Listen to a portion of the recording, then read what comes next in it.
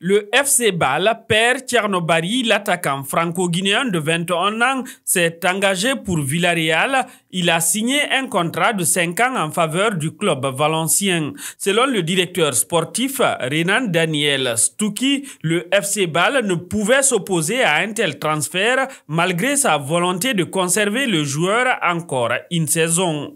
Tchernobari est un attaquant qui joue principalement en pointe, mais qui peut également évoluer sur les L'été dernier, il est couronné meilleur buteur de la Challenger Pro League avec 20 buts avant de quitter Beveren pour le FC Bâle, un club de premier plan en Suisse. Son transfert avait alors été estimé à environ 3 millions d'euros.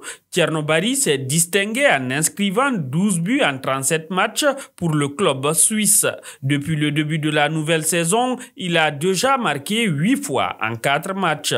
Ses performances ont attiré l'attention de Villarreal avec le sous-marin jaune. Tchernobari est censé remplacer l'ancien attaquant de la Gantoise, Alexander Sorolot, qui lui a rejoint l'Atlético Madrid plus tôt ce mois-ci.